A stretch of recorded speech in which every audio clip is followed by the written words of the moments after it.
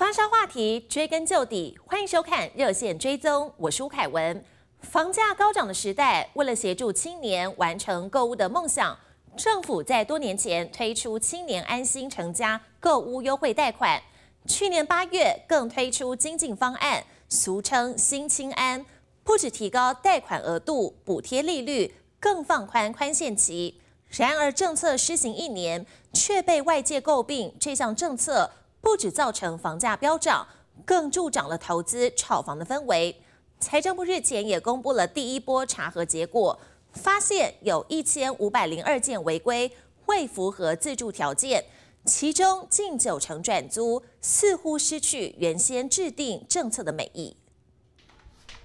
那这个地方是我的，我跟我哥哥的房间。这一个家目前现在只有三个房间，因为我们是三代同堂一起的。今年二十六岁的范登伟，目前与家人一起住在新北板桥，家里人口多，只能与哥哥共用一个房间。但是因为房间不大，就连一张书桌都摆不下。我觉得温馨，但是没有书桌真的蛮不方便。因为有时候如果你是在家工作，或者是在家有其他呃，就是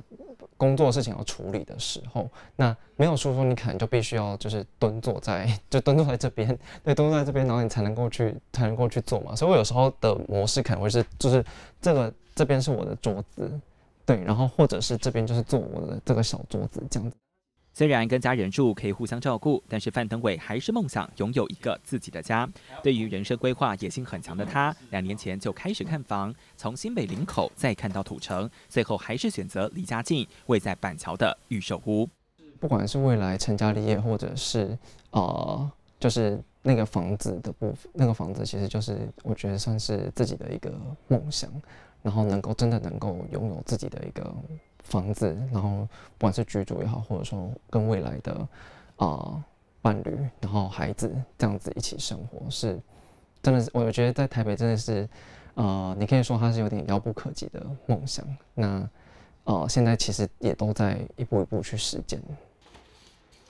谈到新家，范登伟神情难掩兴奋。但是板桥新建案每平超过六十万的价格，对范登伟来说还是需要精打细算，才能够让房贷不至于影响自己的生活。而政府去年推出的新青安贷款政策，更是让范登伟在今年下定决心买房的原因。因为利率真的很便宜，然后同时因为之前升息嘛，然后政府又补贴这个升息的利率给新青安贷款的呃受惠的族群这样子，所以。啊，虽然我们在我是在新疆，应该说补贴这个利息之前就买了，但是我觉得看到这样的情况，其实对，哦，对我自己来说，新青安的这个政策是买房的主要原因之一。虽然目前预售屋还在新建阶段，范登伟也还没有开始使用新青安，仍然期待未来能够使用政策优惠来减轻房贷压力。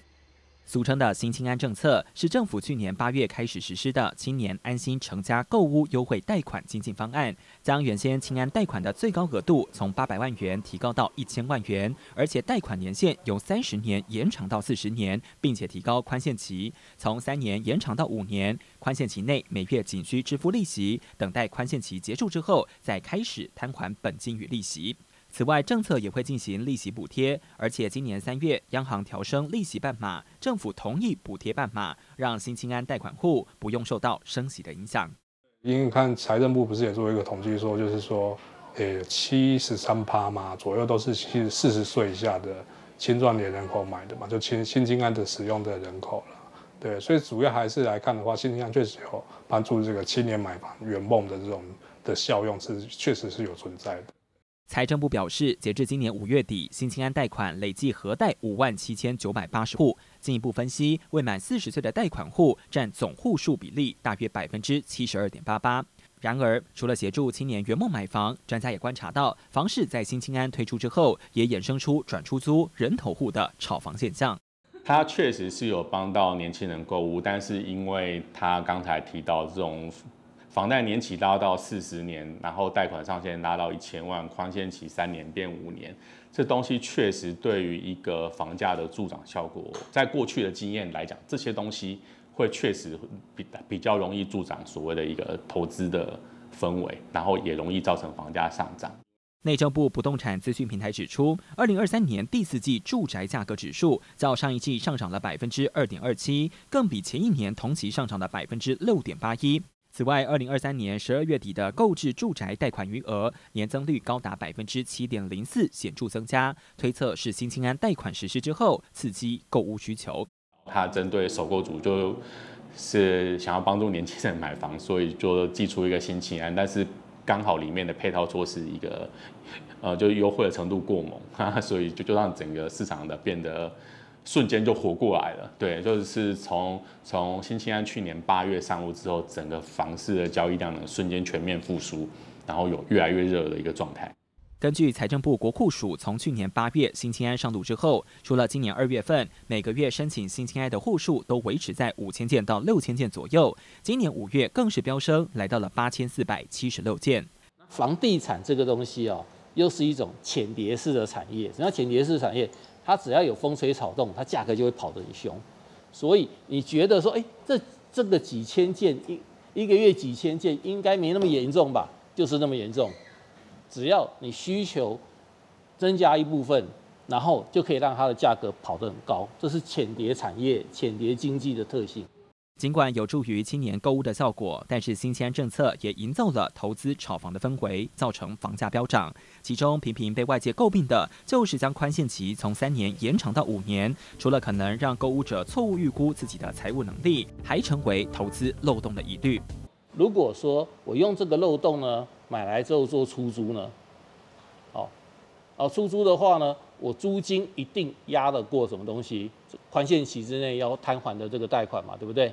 啊，因为只有付利息，所以这个时候我发现，哎，我我这样子我是有利可图的，我几乎不用我不用负担什么成本，在这五年里面，不但房客的贷房客的房租可以帮我付，对不对？这个要还给银行的钱，我甚至还可以用房客的这些贷租金呢，还可以来还一部分本金，就很好操作了。为了防止进一步的转租炒作现象，政府今年六月份宣布进一步的管控措施，包括了落实贷前审核、强化贷后的管理及稽查，新贷户需要签署自助切结书，而且新增每人限贷一次的规定。而管控措施宣布之后没多久，公股银行七月初宣布确实揪出转出租以及疑似人头户。其实这些东西都是该做，主要就是说看它之后的一个事后的稽核到底可以落后。就就是整个落实到哪个地步，可能最近的一些杀鸡儆猴的案子，可能要赶快去多抓几个出来，让大家会怕。